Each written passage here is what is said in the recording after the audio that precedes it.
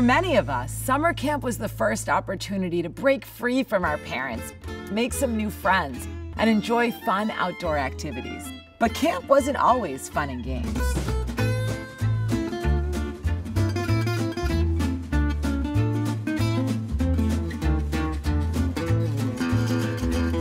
As people flocked to cities to work in factories, moral reformers believed children were missing out on the character building experiences of rural outdoor activities. And what did character building mean exactly?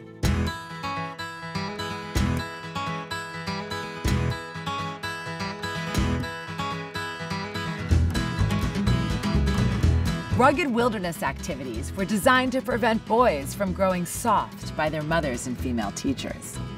While many girls' camps prepared young women for domestic roles by teaching them how to cook and sew, they also provided a rare opportunity for girls to leave home and cultivate independence.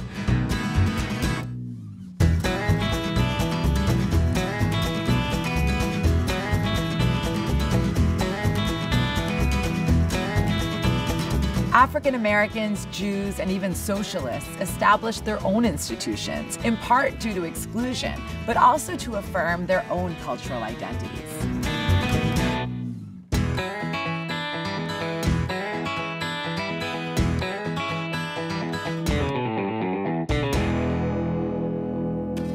During World War II, camps began to offer programs in the arts, sports, and other recreational pursuits.